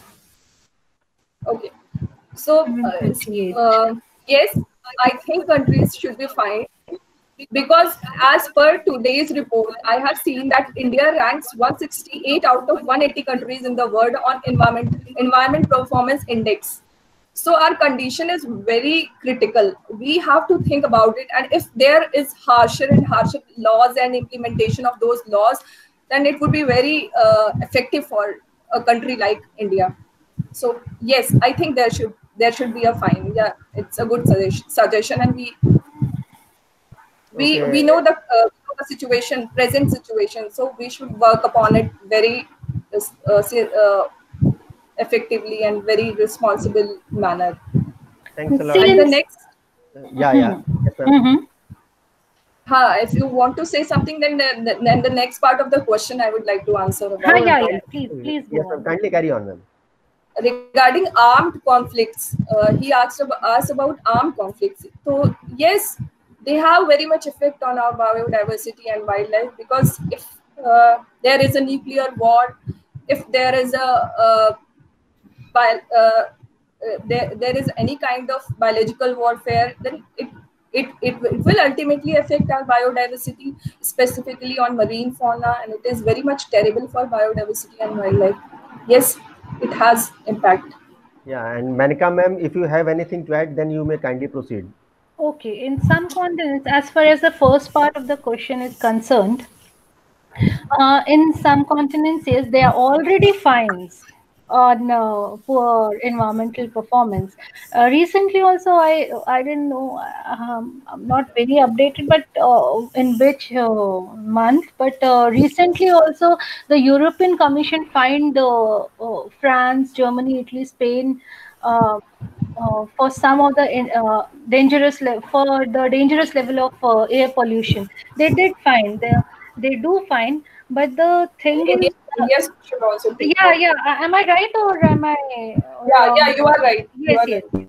Now there are certain fines, yes, but again that depends on the government. Again, that depends on the government whether, uh, you know, that is again when it's concerned. I don't know. I I feel very irritated. I should have that bear. I guess I feel very irritated when I um, find our government doing nothing. They uh, there are countries where um, fines are you know mandatory for polluting the water, for polluting the air quality, for um, and see what has Asha, see see the latest you know incidents. What has been what is the uh, uh, what maximum has been done to that elephant incidents? I don't think so. Shivangi will be give will be giving input about uh, the animal uh, you know incidents uh, oh, sorry elephant incidents in kerala. What uh, did they do? Did they do anything Yeah, I think they are taking steps against. they those, are taking steps until they will take steps I, I- am very positive from about that region, I I'm, I'm very sorry to say, I, I see, uh, I, and I'm very sorry to say that region comes, you know, constantly in limelight. In every three Yeah. days, an elephant is killed in that region, in that, uh, you know, district. Why? Why nobody is taking action for it? Why everybody is That- asleep on that matter? In every That three would days, go an elephant- more- and they claim, you know, they claim uh, insurance on that. What are you doing? So uh, I- I'm Yeah. very irritated on the government far in as this this respect. So uh, thanks a lot, ma'am, uh, for taking up uh, this sort of a discussion. And with this, uh, we move to the last question uh, that is from Swapnil. And because as you all have given us a thought-provoking discussion, and this question is also thought-provoking, I am going to take the last part of the question because it's a long para that he has written. He is he is telling that uh, I know it's no uh, it's not a one day to achieve our goal towards the conserving our Mother Earth. But don't you Yeah. think that should we change the way of thinking of the people by fostering a new way to make them understand? So I would take the closing comments from both the esteemed speakers one by one. Over to you, Manika ma'am first. Before Swapnil, I, I uh, Closing, I designate to- this responsibility to you. Yeah. no, Man- Uh, yeah, yeah. Manika Yes, ma'am, ma'am. you Shivangi speak about Manika ma'am, you speak about it. Then after Thank that, I would like Thank to answer about Egyptian vultures, which are which is asked by Abhinav Mishra. So I would like to answer that Okay, Egyptian sure, vulture. sure, okay. Swapnil, yeah. Swapnil. Coming back to you, Swapnil. Swapnil, I designate this responsibility to you.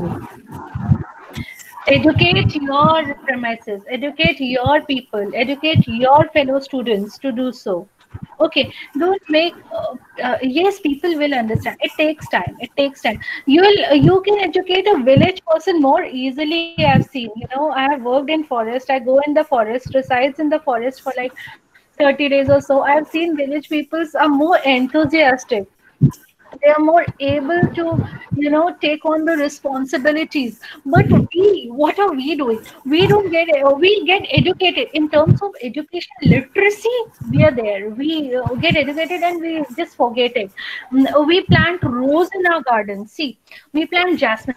I'm not saying planting jasmine and rose is not good. It's good. It's fine. It's great in fact but cutting the Pithecellobium, cutting the solanum, cutting the makoe, the um, physalis uh-huh. uh, out of your garden, that is wrong. Cutting the Sida is wrong. Preserving your culture, don't uh, don't uh, tell your mom that. Uh, um, बरगद की पूजा preserve that होगा no preserve that culture preserve that don't tell your mom to don't make achar don't you know.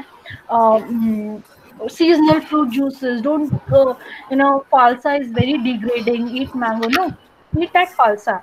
Eat that jamun. Yeah okay? So it starts with you. The main thing is it starts with you guys. So, what is your responsibility again? Think of what you can do, what is your responsibility, and how many people's how many people you can approach and make them aware of the thing okay?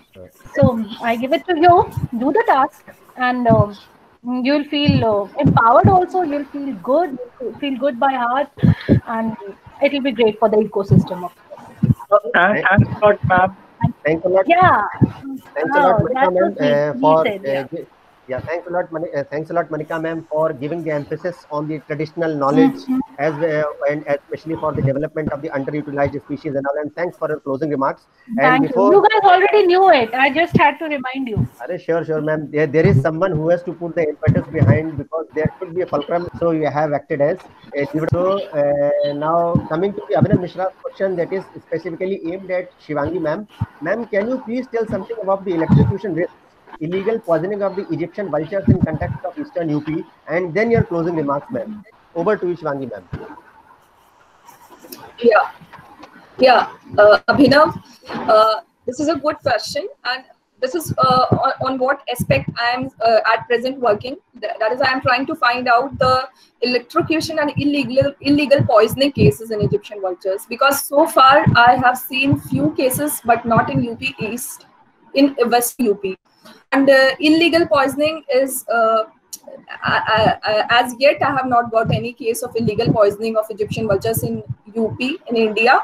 Uh, because and I, I find this is uh, somewhat positive uh, for us to uh, not have the illegal poisoning cases of Egyptian vultures because as far as I have researched and I have done work, I have I have not observed any illegal poisoning of Egyptian vultures. But yes, I have got electrocuted Egyptian vultures in Western UP.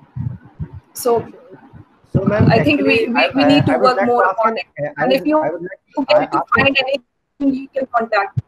Yes, ma'am. Ma'am, actually, I would like to ask an added question Yeah. that is out of my uh, curiosity. That is, uh, how do you look at the captive breeding of the vultures in the vulture centers uh, that have been bred off late? It is a curiosity question.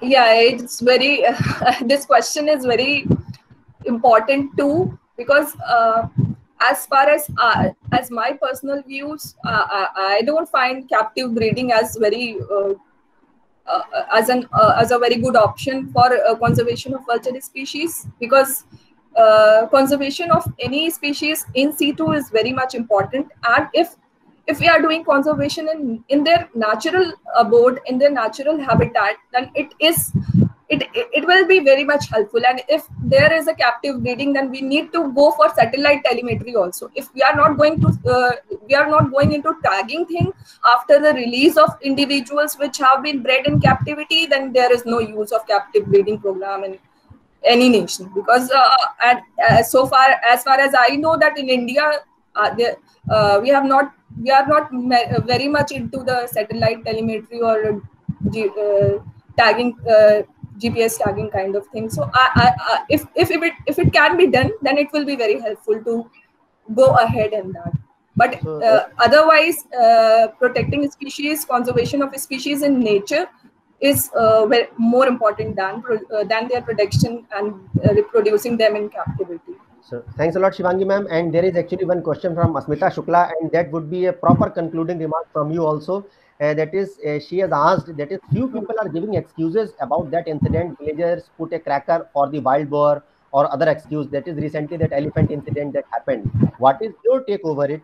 As we know that it is not the way to treat any living being, whether it is wild or uh, whether it is wild, uh, whether it does not belong to the wild.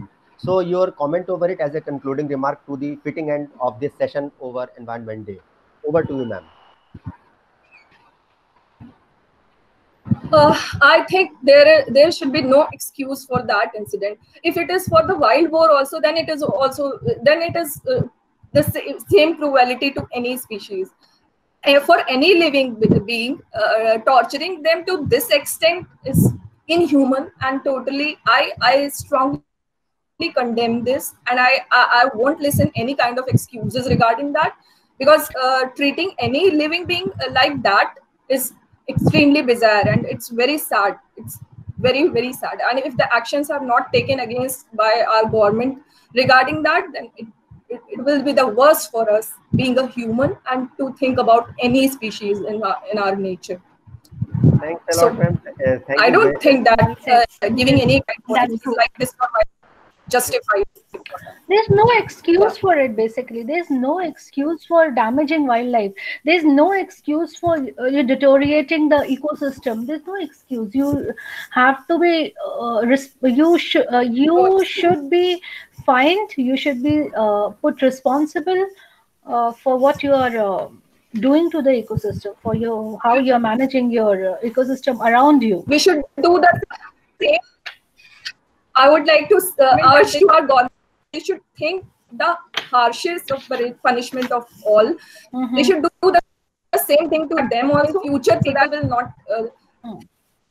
think about these acts, these inhuman acts. Get, Thanks they should ma'am. as harsh Actually, uh, punishment as- as they. Yeah. Yeah. As That's a- why my presentation was Yeah. dedicated. yeah.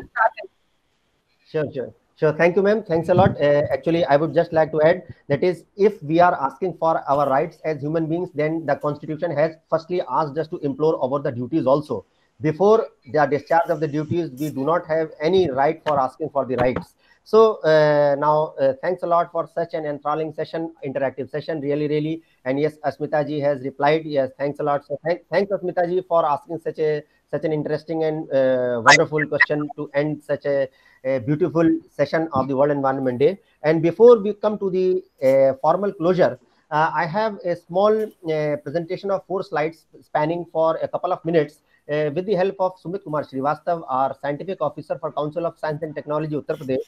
I will request Sumit ji, if you are kindly here, kindly unmute yourself so that we can inform the general public about a very rare astronomical phenomena that is going to happen out of the three eclipses that India is to witness one is happening tonight जो तीन ग्रहण हमारे भारत को देखने का सौभाग्य सन 2020 में प्राप्त हुआ है।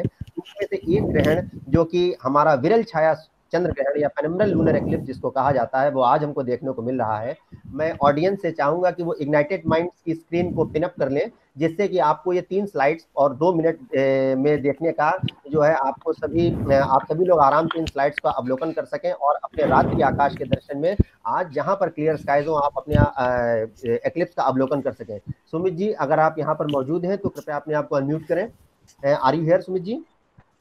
हाँ। हाँ जी श्योर सर तो uh, मैं ये चाहूँगा कि आप जो है मैं प्रेजेंटेशन के अगले तरफ़ बढ़ रहा हूँ जिसमें लूनर ज्योमेट्री की बात है तो आप कृपया जो है हमारे ऑडियंस को लूनर ज्योमेट्री के बारे में समझाएँ और जिससे कि वो आज की रात अवलोकनार्थ जो है आसमान को निहार सके। Over to you Sumit okay okay okay मैं सिर्फ़ दो मिनट लेना चाहूँगा।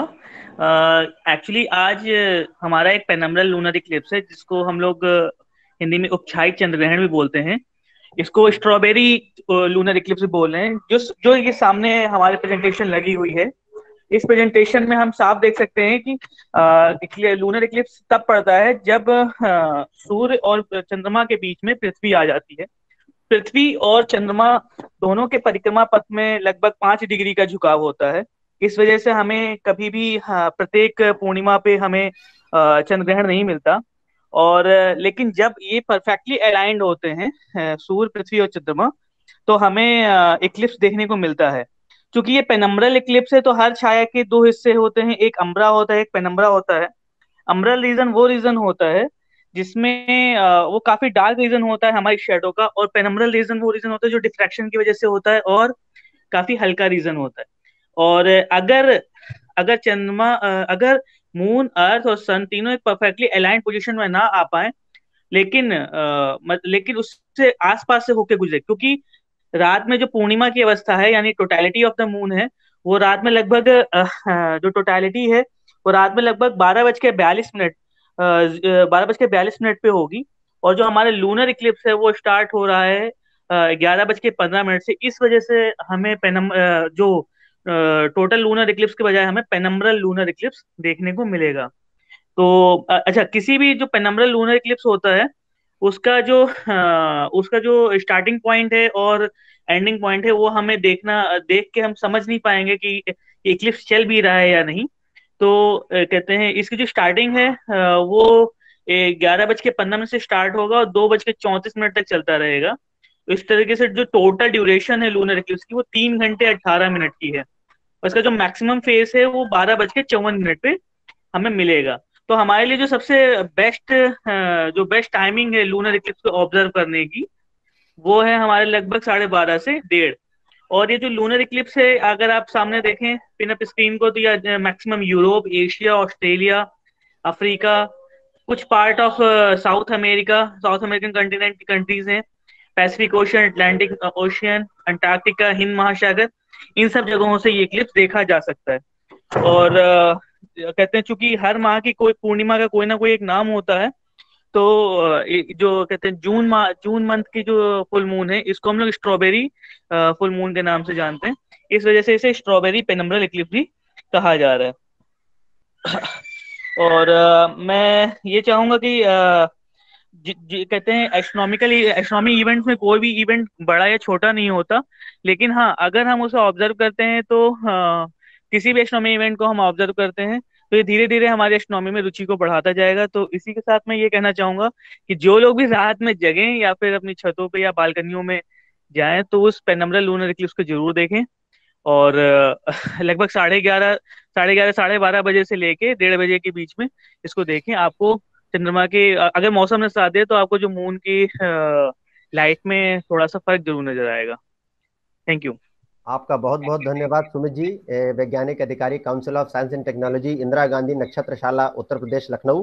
तो सर एक चीज़ मैं जो हूँ इस सभी में ऐड करना चाहूँगा आप सभी श्रोताओं के लिए कि आखिर ये पेनम्बरल लूनर एक्लिप्स का हम लोग सेशन अलग से भी कर सकते थे। लेकिन इसके लिए टॉक भी हमारे सुमित जी ने जी है, उसको मैं स्काई फाउंडेशन के अपने मित्रों से चाहूँगा कि उसका यूट्यूब और फेसबुक की पोस्ट का जो लिंक है, वो कृपया जो है जैसे जैसे मैं आप सभी को संबोधित करता जा रहा हूँ, उसको शेयर अवश्य करें, ताकि जो हमारी आम जनता है, उसको अवलोकनार्थ अपनी अपनी छतों पर अपने अपने बागीचों में, बागानों में, अपने घर के सामने से जो है, उसको अवलोकन कर सके जहाँ जहाँ बादल रहित आसमान उनको दिखाई दे रहा है। और आपके अवलोकन का जो समय होगा, करीब सवा ग्यारह बजे से रात्रि में पाँच आज की रात्रि में जो है ये लूनर एक्लिप्स प्रारंभ होगा।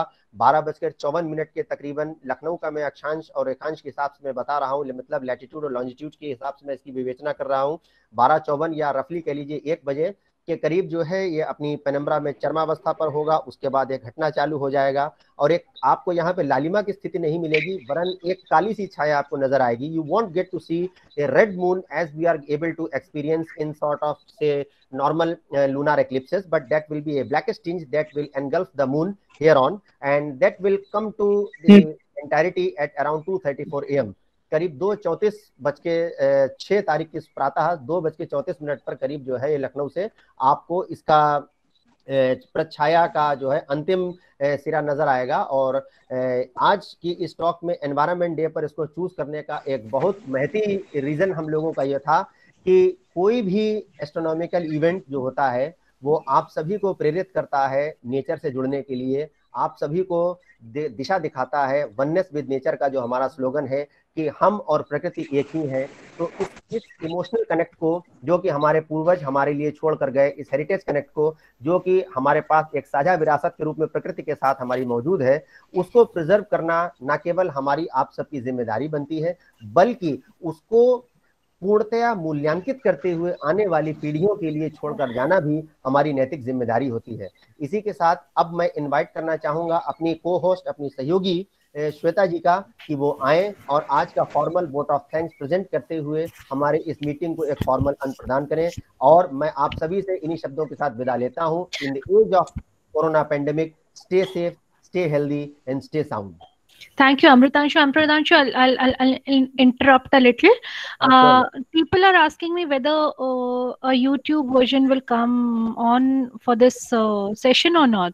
Yes, yes, ma'am. Actually, YouTube mm -hmm. version is there. The entire recording will be uh, promoted over the Sky Foundation and due okay. links will be shared over not only over the Facebook of all the collaborating institutions, but okay. also through the proper channels of the circulation uh, with the different dignitaries as well. So, okay, जितने भी दर्शक हमारे मौजूद हैं आपको चिंतित होने की कोई आवश्यकता नहीं है किसी नेटवर्क स्लैक के चलते। अगर आप जो है आगे पीछे आप इसको देखते रहे हो डिस्कनेक्ट होते रहे क्योंकि कई जगहों पे भारी पानी भी बरस रहा है। निसर्ग तूफ़ान का भी साया है कुछ सेंट्रल यूपी में सॉरी सेंट्रल भारत में। तो आप सभी के लिए हमारी विशेष सुविधा के तौर पर यूट्यूब में आपको उसका लिंक मिलेगा। एक दो दिन आपको इंतज़ार बस करना पड़ेगा क्योंकि कुछ तूफानी हवाओं के चलते जो है हम लोगों को भी नेटवर्क में डिफिकल्टीज का सामना करना पड़ रहा है। तो इसी सब इन्हीं शब्दों के साथ मैं आपसे विदा लेता हूँ और शिवा श्वेता जी से मैं प्रार्थना करता हूँ कि वो आए और हम सभी लोगों को एक formal cordial vote of thanks प्रस्तुत करें। Over to you Shweta. Yes I would like to thank both of the presenters for an enlightening and informative presentation on this World Environment Day 2020. Both of them beautifully explained about the nature, why Environment Day is celebrated, and about the local foods from each and every part of India and, uh, and their medicinal values. I'm sure audience must have loved your presentation. Also, you both have answered all the questions so nicely. I think all the doubts of the audiences might have definitely cleared.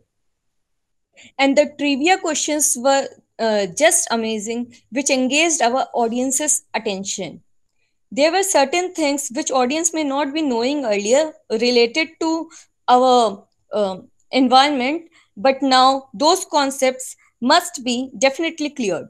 I have a small token of a appreciation here for both of you, Mrs. Shivangi Mishra and Dr. N. Namika, on behalf of all the WIPNET clubs. Please accept it with our sincere thanks. Now, I would like to thank the esteemed audiences for joining us. Uh, thank you and stay tuned with us. एक एक छोटा सा मेरा निवेदन है जितने भी audience यहाँ पर मौजूद हैं कि कृपया जो है हमारा फीडबैक फॉर्म जो है अवश्य भरें आपको ई सर्टिफिकेट्स जो कि हमारे बिपनेट क्लब्स जो कि विज्ञान प्रसार के द्वारा मान्यता प्राप्त हैं, जिनका आप अपने भविष्य में, अपने एकेडमिक और अन्य प्रयोगों के लिए आप उनका यूटिलाइजेशन कर सकते हैं। तो उन सभी सर्टिफिकेट्स को प्राप्त करने के लिए मेरा आपसे करबद्ध सविनय निवेदन है कि कृपया फीडबैक फॉर्म जो कि बारंबार हमारे स्काई फाउंडेशन के द्वारा शेयर किया जा रहा है, उसको कॉपी करके अवश्य भरें और उसका फीडबैक जो है अवश्य सबमिट करें। ऐसी शुभकामनाओं के साथ मैं Amritanshu Vajpayee sky amateur astronomer club ignited minds Vipnet club women led science club sky foundation और ग्लोबल ग्रीन फाउंडेशन की तरफ़ से आप सभी को तहे दिल से धन्यवाद देते हुए अपने वक्ताओं का विशेष अभिनंदन करते हुए आप सभी से विदा लेता हूँ।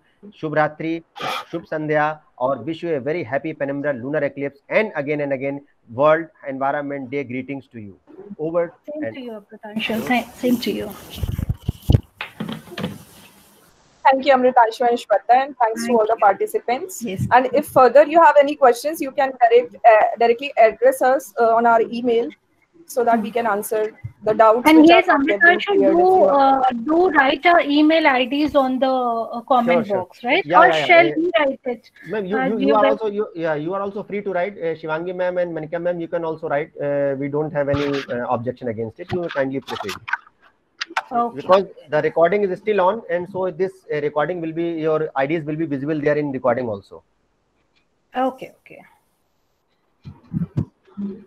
Okay, I have put it in. Thank you all. Thank you all very much for liking the uh, discussions or for liking all of us. See you soon. I have kept it on my presentation on the very first slide, and I'm again, uh, I have again typed here. You can further go for query with us. Thank you so much for joining us and listening to us so patiently. okay Thank thanks you. a lot Shivangi ma'am and Man- uh, uh, Shivangi ma'am and Manika ma'am and good night India Good night. Save environment.